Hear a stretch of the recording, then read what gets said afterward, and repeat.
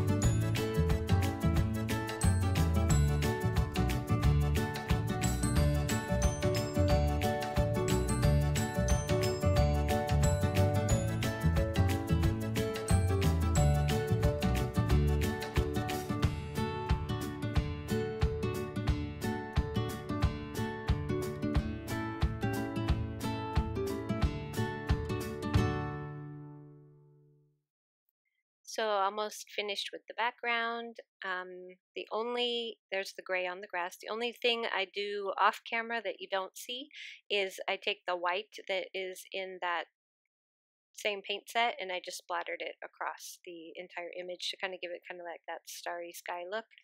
And I put all the colors of the markers up in the top corner so that you can see if, if any of these color combinations, um, if you like them, they're there. The tree uh, is pretty easy, um, other than the little tiny little spots in the branches. And I just start with my base color, which is my lightest color, and I lay it down kind of towards the middle of everything, and then I pull the color out to the ends, just so that the middle is darker and the ends are a little bit lighter. But honestly, with watercolor, it just does whatever it wants to do. no matter whether you want it to or not. So sometimes you just kind of got to let it go. So then I added my my darker color and I just kind of used the artist's lines to darken up just that area and then I pulled it around um, with the watercolor marker, it, I mean the water brush. And I still didn't really like how it wasn't dark enough. So you can't see it because I zoomed in on the image, but off to the side, I took that dark brown uh, zig marker and I kind of scribbled it on the little white part of the glass mat and then I'm just going to grab it with my water marker and come back. So every time I put my hand off to the side, I'm grabbing that darkest color and bringing it back. And you can see I'm a very messy color. When I play with the watercolors, it gets everywhere, which is why I like to use the embossing powder on it. Um, it just kind of holds my mess a little bit better. For the fence behind there, I put the color up at the top, it was brown, and I'm just putting the color down wherever the artist put, you know, where there would be lines or some, some kind of dark spots. And then I'm just pulling it out with the water brush. And I almost forgot that there was a little piece of fence behind the behind my pumpkin there. Uh, let's see. Next, I'm going to. I'm just going to talk. I'm just going to keep going. The colors are up on the top, and just there it is.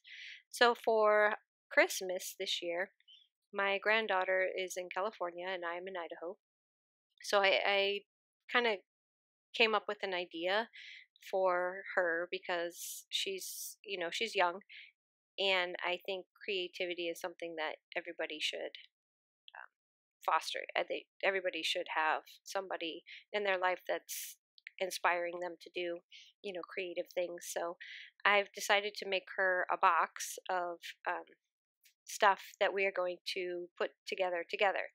Even though she's real far away, um, I'm going to make a video that's just for her.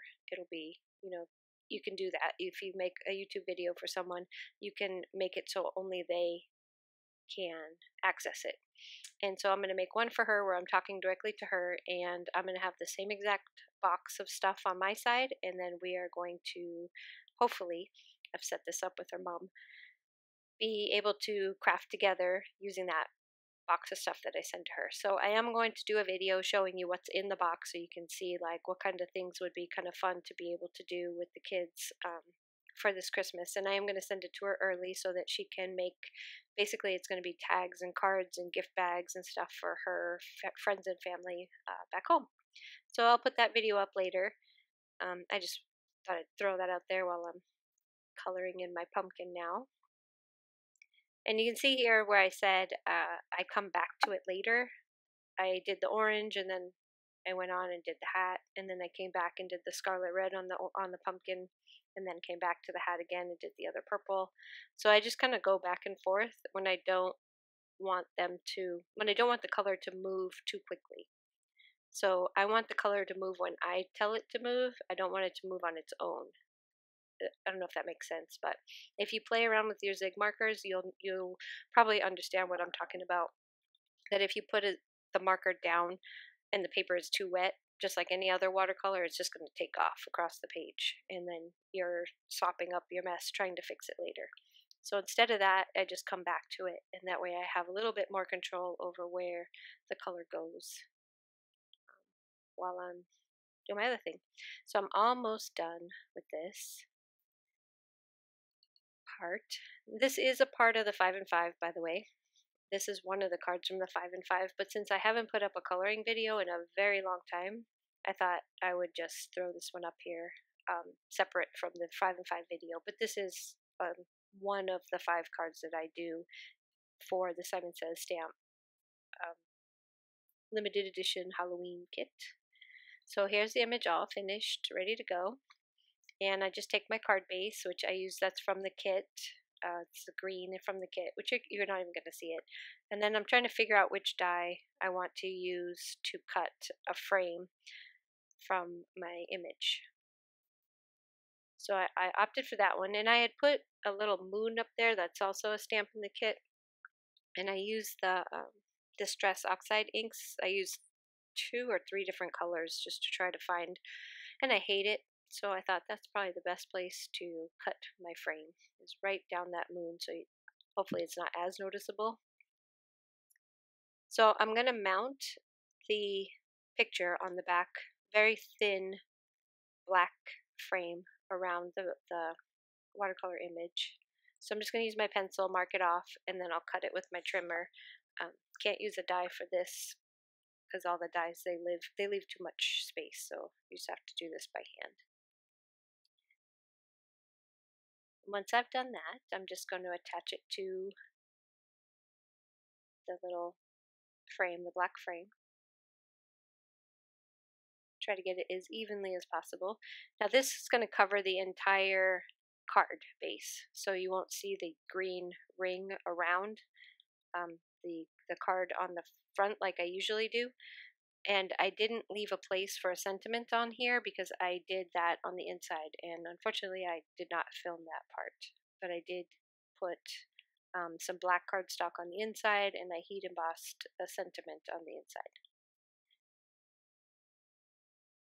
Just because I think that these, when you put that much work into the into the picture on the front, um, the sentiment just kind of takes away from your from your image, I think.